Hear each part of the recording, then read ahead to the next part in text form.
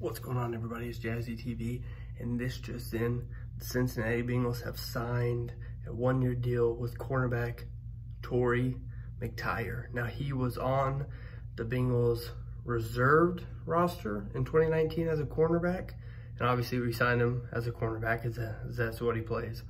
But, um, you know, I think it's just, you know, bringing him on, just more depth in the team, probably more competition. Um, I, I haven't seen much film on this guy um, as he was on the reserve roster and, you know, didn't play last year and stuff like that. So it's very interesting, very intriguing. Um, so curious to see, you know, how he pans out, what kind of, you know, and, and do some research on him and just see what this guy's got. Jazz TV, peace.